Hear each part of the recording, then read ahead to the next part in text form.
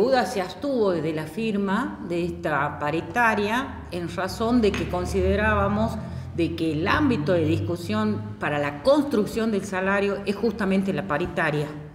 Eh, hubo ahí en ese contexto varias propuestas que creo que merecían ser analizadas. Creo que faltó madurez eh, política para, para los distintos puntos de vista y lograr una propuesta superadora que, que redituara en un beneficio para el sector docente, es decir, llegar a una actualización que medianamente nos permitiera tener un salario acorde a los tiempos que vivimos. Eh, sí hubo algunas instancias este, en las que considerábamos que el tiempo era poco, eh, dada la magnitud del tema que se estaba definiendo, que es nada más ni nada menos que la actualización salarial, habida cuenta de que el salario del docente está por debajo de la línea de pobreza. Está bien que el gobierno haya garantizado el monto mínimo paritario, pero también deberíamos haber pensado en el resto del colectivo docente que eh, en forma permanente eh, ve su, su poder adquisitivo disminuido como consecuencia de la inflación. ¿Ustedes por parte de UDA habían hecho alguna contrapropuesta para que se estudiara en, este, esta negociación? Sí, nosotros hemos formulado propuestas, después hemos este, reconsiderado los porcentajes que estábamos presentando y viendo que el día viernes habían puesto en la mesa eh, un porcentaje del 51,51%, y que se, en el contexto este se pidió que se adelantara el pago del mes de diciembre a noviembre. Eh, habíamos este, lanzado la consulta a los colegas docentes y veníamos ratificando en forma permanente la posición de UDA, que era septiembre el 20%, octubre el 12% y diciembre el 35%. Eran los valores estimados eh, teniendo en cuenta el correlato de lo que se había firmado en la paritaria nacional que fijó el piso. ¿Sí? El día lunes, cuando nos presentamos, este, muy rápidamente la ministra de Trabajo, que también ofició de ministra de Educación porque no estaba presente, eh,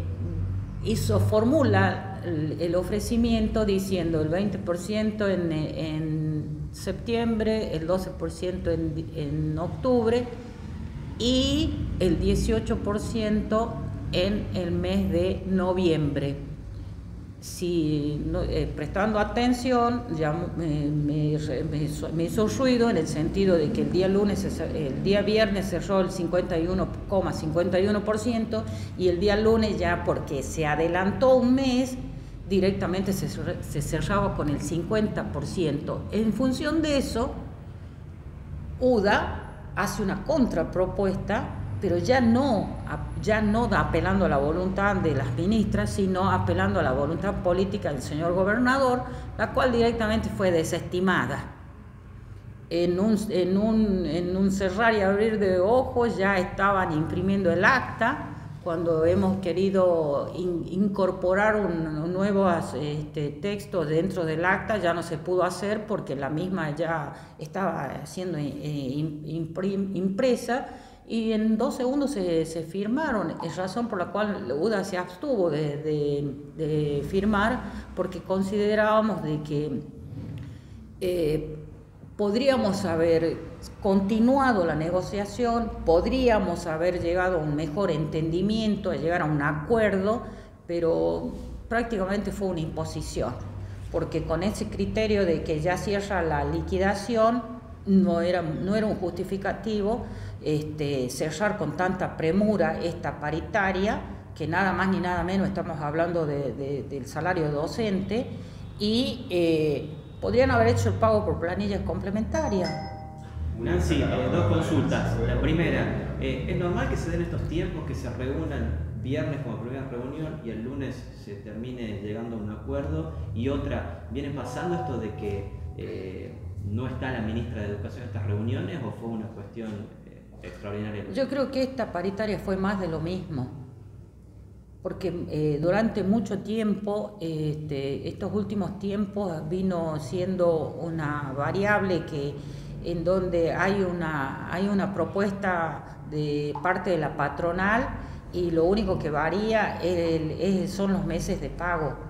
No se varía el porcentaje inicial o el porcentaje, ¿no? Eh, eh, fue, fue una paritaria más de lo mismo, eh, en donde no hubo, no hubo el debate, no hubo la, no hubo la suficiente madurez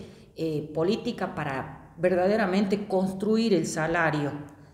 Y la ministra, este, no sé si habrá sido convocada.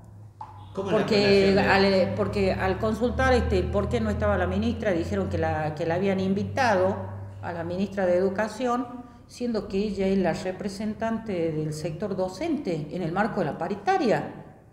¿Cómo la van a invitar? Ella debe participar y la ministra, este, no sé cuál será la disidencia que, que, existe, que por qué no participará. ¿Cómo es la relación de ustedes, los gremios, con la ministra ¿Cómo es la? ¿Tienen, no, eh, eh, para, para la UDA, la ministra tiene una gran capacidad de diálogo, eh, tiene muy buena predisposición para solucionar todos los requerimientos que nosotros le hemos planteado desde UDA eh, es más, hemos llegado a un entendimiento de la formación de una comisión para tratar los temas importantes como son la, actualización de los FASPIP y de educación de adultos y verdaderamente tuvo una muy buena apertura la ministra. En ese sentido creo que la paritaria pedagógica se está manejando de mejor manera que la salarial, porque la salarial aparentemente es como que eh, la provincia tiene estos recursos y no hay más. Y los trabajadores tenemos que aceptar eh, esa, redistribución de pobreza y, llevar adelante esos salarios eh, que no están acorde a los tiempos que vivimos.